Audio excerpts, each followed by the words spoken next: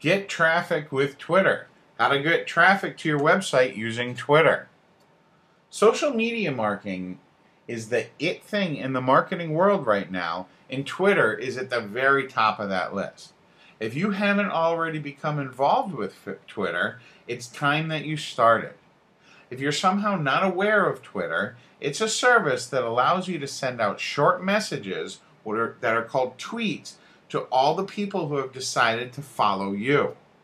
It started out as a way to talk to your friends and family and mainly keep track of famous celebrities, but it's quickly turned into a powerful marketing method. Now, before you get started, you should understand what Twitter is not. Twitter is not a platform that you should be using to directly sell your products or services. If all you do is send out messages asking for people to buy something, trying to sell them something, it just won't work. The key to successfully using Twitter is to use it to build relationships with your followers and to give them value. People want to know that you're doing business with a person, not just a website, and Twitter lets you do that. People can ask you questions and you can easily interact with them.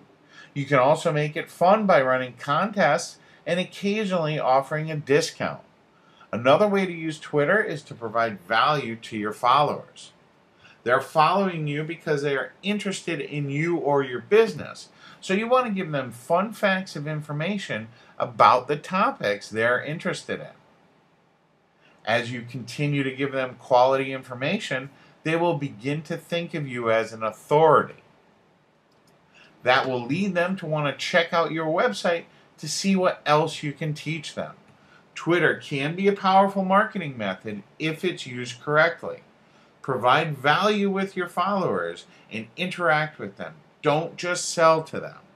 And that's the key to getting traffic with Twitter.